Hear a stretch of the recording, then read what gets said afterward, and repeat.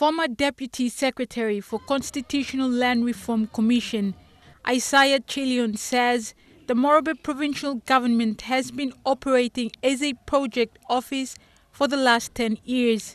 Chillion had served as a public servant for 30 years in law reforms, public administration, and land reforms.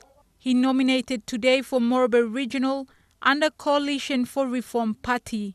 All the systems have collapsed on 500 million kina budget of this province. Explain to us where the money is going.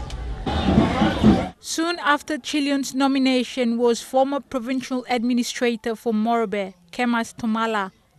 He is contesting as an independent candidate and hopes to bring good economic activities to the province after the elections. Tomala, who had served both the national and provincial government, says Morobe can deliver well in all districts with the biggest budget allocation apart from the other provinces.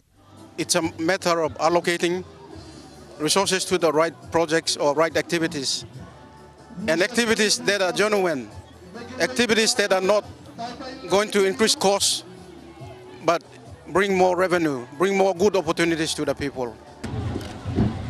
For Lae open seat, a candidate who had contested since 1997, Fred Wack, says people are still missing out on basic services such as health and water supply. Wack nominated today as an independent candidate. But Lae has been unfairly treated.